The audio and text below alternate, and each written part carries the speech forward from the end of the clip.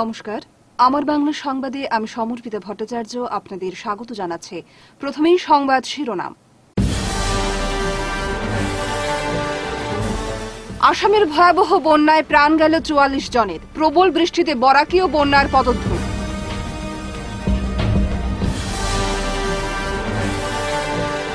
মধুরবন্দে লরির ধাক্কায় প্রাণ হারালো স্কুল পড়ুয়া। বেহাল রাস্তাকে দায়ী করলেন স্থানীয়রা।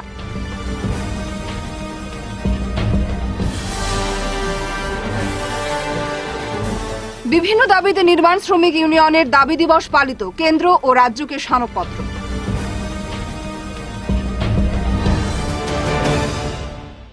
এবারে বিস্তারিত আমার বাংলা সংবাদ। আসামে বন্যা পরিস্থিতি ভয়াবহ। এ পর্যন্ত বন্যায় তেরো লক্ষেরও অধিক মানুষ আক্রান্ত হয়েছেন রাজ্যে। চুয়াল্লিশ জনের প্রাণহানি ঘটেছে। রাজ্যের তেত্রিশটি জেলার মধ্যে চব্বিশটি জেলায় বন্যার জলে ভাসছে। এনডিআরএফ বন্যা কবলিত এলাকাগুলোতে জোর গতিতে উদ্ধার অভিযান চালিয়ে যাচ্ছে। রাজ্য সরকারও ত্রাণ ও পুনর্বাসনের চেষ্টার কোনো কসুর বাকি রাখছে না। এদিকে অতিবৃষ্টির ফলে বরাক উপত্যকায়ও বন্যার আতঙ্ক দেখা দিয়েছে। সোমবার সকাল থেকে ঘন্টায় এক সেন্টিমিটার করে বরাকের জল বাড়তে থাকে। তবে এদিন সন্ধ্যার দিকে এক সেন্টিমিটার জল কমলেও বৃষ্টি হলে ফের জল বাড়বে বলে জানিয়েছেন সেন্ট্রাল ওয়াটার কমিশনের এক উচ্চপদস্থ কর্মকর্তা। ঘন্টায় এক সেন্টিমিটার বাড়ছিল। কোন দুই ঘন্টায় এক সেন্টিমিটার বাড়ছে এরকম করিয়া one nine point zero nine পর্যন্ত জল গেছে। এই ঘন্টায় এক সেন্টিমিটার জল কমছে।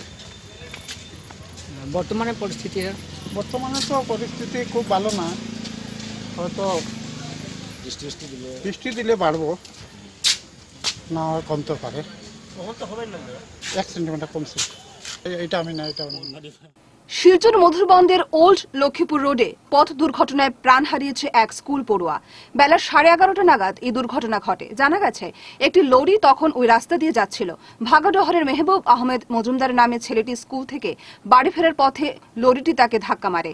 এতে রাস্তায় ছিটকে পড়ে মেহবুব। পরে তার মৃত্যু ঘটে। খবর পেয়ে পুলিশ ঘটনাস্থলে গিয়ে মৃতদেহ উদ্ধার করে ময়নাতদন্তের জন্য মেডিকেলে পাঠায়। এলাকাবাসী এই দুর্ঘটনার জন্য বেহাল সড়ককেই দায়ী করেছেন। তাদের মতে, এই রাস্তার জন্য প্রায়ই মধুরবন্দ এলাকায় দুর্ঘটনা ঘটছে। কিন্তু রাস্তাটি সংস্কারের ব্যবস্থা করা হয় না।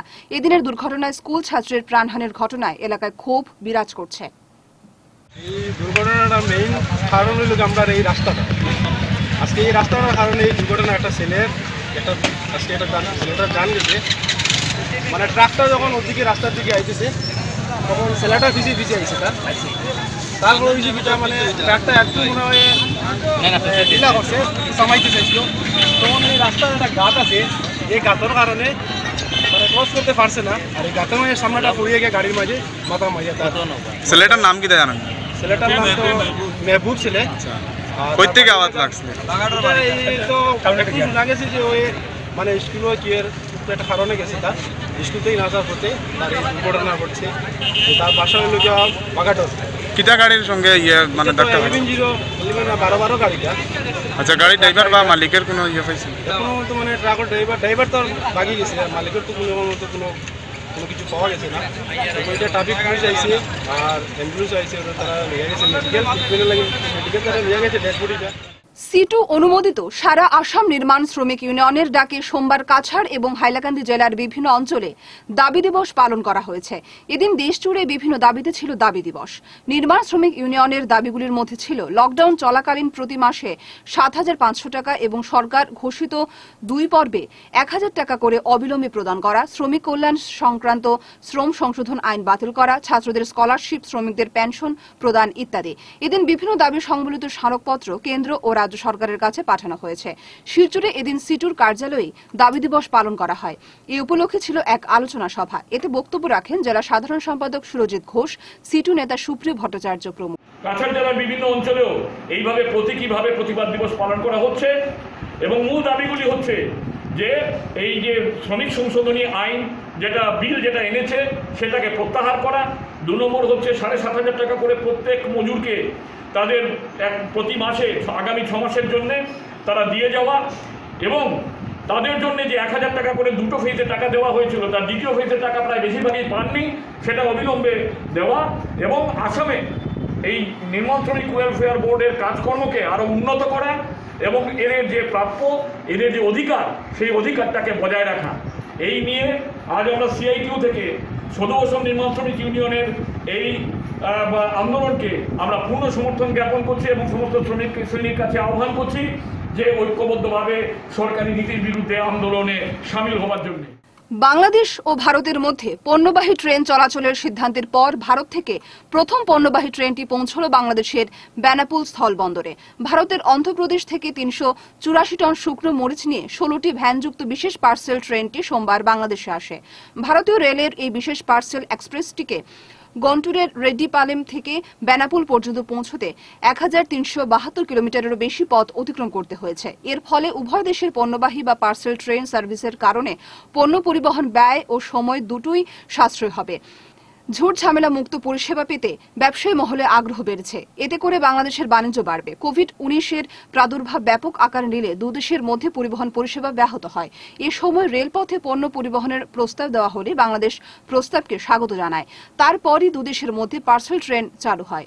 এর আগে জুন মাসে একশো তিনটি পণ্যবাহী ট্রেন বাংলাদেশে যাতায়াত করে। পার্সেল ট্রেন পরিষেবা উভয় দেশের মধ্যে বাণিজ্য সম্প্রসারণে ভূমিকা রাখবে। ঢাকা থেকে আমার বাংলার প্রতিনিধি বৃদ্ধি হকের রিপোর্ট। পরিবেশের ভারসাম্য বজায় রাখতে ও সবুজায়নের লক্ষ্যে অধিক হারে বৃক্ষরোপণ করা উচিত। সোমবার Cachar forest division, PWRD, Cachar এবং জিসি কোম্পানি লিমিটেডের যৌথ উদ্যোগে Dhalai road side plantation drive কর্মসূচির অধীনে এক অনুষ্ঠানে প্রধান অতিথি হিসেবে বক্তব্য রাখতে গিয়ে কথা বলেন রাজ্যের বন, পরিবেশ, আবগারি ও মৎস্য বিভাগের মন্ত্রী পরিমল শুক্লবৈদ্য। এদিন মন্ত্রী আরও জানিয়েছেন, বেঁচে থাকতে হলে মানুষের অক্সিজেনের প্রয়োজন রয়েছে, আর সেই অক্সিজেনের অভাব হলে পরিস্থিতি কি হতে পারে তা সবারই জানা। সুতরাং প্রকৃতিকে বাঁচিয়ে রাখতে হবে। মন্ত্রী এ ধরনের অনুষ্ঠান আয়োজনের জন্য বন ও পূর্ত বিভাগের পাশাপাশি কনস্ট্রাকশন কোম্পানিকেও ধন্যবাদ জানিয়েছেন। এদিনের অনুষ্ঠানে উপস্থিত ছিলেন পূর্ত সড়ক ডিভিশনের সুপারিনটেন্ডেন্ট নামেশ্বর পেগু, জেলা বন অধীক্ষক Sanidev Chowdhury CCF Suman Mohapatra executive engineer Akbar Hossain Chowdhury সহ আরও অনেকে। আমরা সমাজকে, আমরা প্রকৃতিকে, আমরা পরিবারকে কি দিলাম, এটা আমরা একবারও চিন্তা করি আজকের দিনেও আপনারা দেখবেন, কোনো কোনো লোক হয়তো দূর থেকে দেখছে আপনাকে। আর বলবে বুঝলাও ভাইয়া गेल हल तो कुछ ना कुछ तो मिलल पानी के कुछ ना कुछ तो मिलल ऐसे तो और मैनेजर मैनेजर बैठ के वो बातचीत ना करला कुछ दो চারশো রুপিয়া মিলল মানে তার মনে এটাই থাকবে যে কিছু না কিছু হ্যাঁ পণ্ডিতজির মিলন এখন আর এই মিলার বাইরে আর কেউ ভাবেই না বিনোদিনী জিপির গোলছড়া পশু হাসপাতালের চিকিৎসা পরিষেবা লাটে। অজানা রোগে একের পর এক গৃহপালিত পশু আক্রান্ত হলেও বেপাত্তা চিকিৎসক আব্দুল জলিল বড়ভূয়া সোমবার বিস্ফোরকে অভিযোগ করেন স্থানীয় কৃষকরা। কৃষকদের আরও অভিযোগ, হাসপাতালে কোনো পরিচালন কমিটি নেই, ওষুধপত্র নেই। তাছাড়া চিকিৎসক আব্দুল জলিল একজন সরকারি চিকিৎসক হয়েও হাসপাতালে অনুপস্থিত থেকে প্রাইভেট প্র্যাকটিসে ব্যস্ত।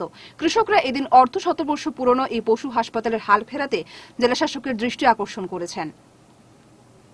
উধারবন থানার অন্তর্গত দয়াপুর প্রথম খণ্ডের বাসিন্দা নিয়ামত আলী লস্করের স্ত্রী রেজিয়া বেগমের শ্লীলতাহানির ঘটনা ঘটেছে। রবিবার সকালে গ্রামেরই বাসিন্দা নজরুল ইসলাম দলবল নিয়ে রেজিয়া বেগমের ঘরে হামলা চালায়। নজরুল সহ তার সঙ্গীরা রেজিয়াকে শ্লীলতাহানির জন্য উদ্যত হয়। চিৎকার শুনে রেজিয়ার দুই ছেলে ছুটে আসে। পরে দুপক্ষের মধ্যে হাতাহাতির পর নজরুল ও তার সঙ্গীরা পালিয়ে যায়। এই ঘটনার পরিপ্রেক্ষিতে সোমবার রেজিয়া উধারবন থানায় একটি এজাহার দায়ের করেন। এতে তিনি নজরুল ইসলাম লস্কর আবুল হোসেন, কালামিয়া, কবির হোসেন নজু হোসেন, আহাদ হোসেন, আয়শা বেগম ফাহিম হোসেন, রুকিয়া বেগমকে অভিযুক্ত করা হয়েছে। পুলিশ ঘটনা তদন্তে নেমে এদিনই প্রধান অভিযুক্ত নজরুলকে গ্রেফতার করেছে। আলগাপুরের উন্নয়নে বিধায়ক নিজামুদ্দিন চৌধুরীর ব্যর্থতা নিয়ে প্রতিবাদ করলে মিথ্যা মামলায় জড়িয়ে প্রতিবাদকারীদের মুখ করার চেষ্টা করা হয়। সোমবার বিস্ফোরকে অভিযোগ করে বরাক ডেভেলপমেন্ট পরিষদ। এদিন পরিষদের কেন্দ্রীয় কার্যকরী সভাপতি আদর রহমান বড়ভুইয়া স্পষ্ট ভাষায় জানিয়ে দেন, মিথ্যা মামলায় জড়িয়ে আলগাপুরের গণতান্ত্রিক আন্দোলন থামানো যাবে না। আমার প্রশ্ন হচ্ছে উত্তর নারায়ণপুর জিপি সভাপতি দুর্নীতির বিরুদ্ধে প্রতিবাদ করে আজকে উত্তর নারায়ণপুর জিপি সভাপতি হয়েছেন। দুর্নীতি করার প্রশ্নই উঠে না। আসলতে বিগত প্রায় পনেরো বিশ দিন আগে আমাদের উত্তর নারায়ণপুর জিপির একটা রাস্তা নিয়ে আন্দোলন করেছিলেন আমাদের উত্তর নারায়ণপুর জিপি সভাপতি এম হিফজুর রহমান লস্কর।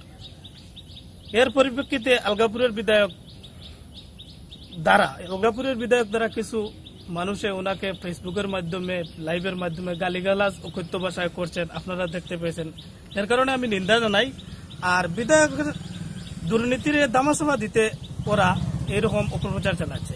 প্রথম প্রশ্ন হইল কি, বিধায়ক একজন ব্যর্থ বিধায়ক। কাণ্ডজ্ঞানহীন তো বলব না। আসলে উনার কোনো কমন সেন্স নাই। উনি একজন নন ননসেন্স ব্যক্তি।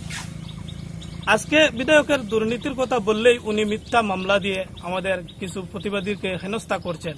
আলগাপুর সমষ্টিতে শুধু উত্তর নারায়ণপুরে যে দুর্নীতির বিরুদ্ধে প্রতিবাদ হচ্ছে এমন কোনো কথা নয়। আপনারা দেখছেন আলগাপুরে হচ্ছে, আপনার বকরিয়াউরে হচ্ছে, আপনার, এই, চণ্ডীপুরে হচ্ছে, চতুর্দিকে বিধায়কের দুর্নীতির বিরুদ্ধে পাবলিক মানে সজাগ হয়েছেন, রাস্তায় নেমেছেন। আজকে আমি বিধায়ক যে ব্যর্থ, তার দু একটা প্রমাণ আপনাদের কাছে তুলে ধরছি।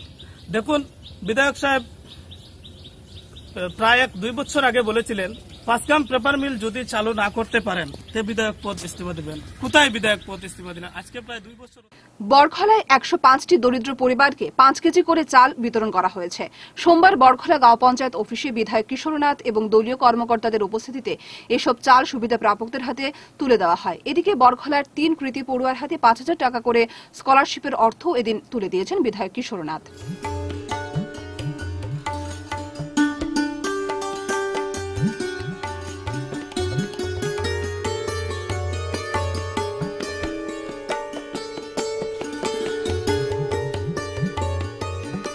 বরাক উপত্যকা ক্রীড়া সাংবাদিক সংস্থার ব্যবস্থাপনায় শিলচর মধ্য শহর ও সাংস্কৃতিক সমিতির প্রেক্ষাগৃহে সদ্য প্রয়াত নীলোৎপল চৌধুরীর স্মরণে এক সভার আয়োজন করা হয়।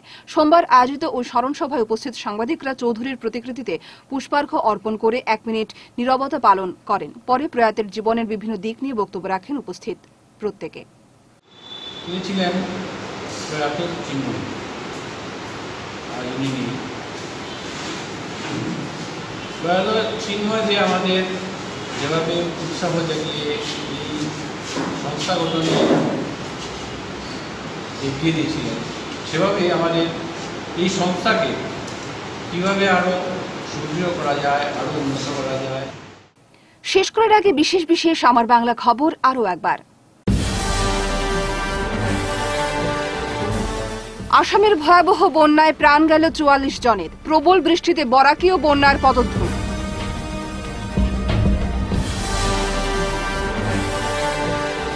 মধুরবন্দে লরির ধাক্কায় প্রাণ হারালো স্কুল পড়ুয়া। বেহাল রাস্তাকে দায়ী করলেন স্থানীয়রা।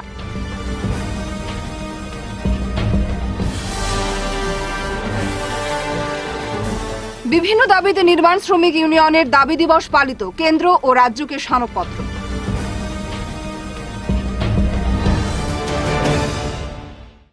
এখনকার মতো আমার বাংলা সংবাদ, এ পর্যন্তই। নমস্কার।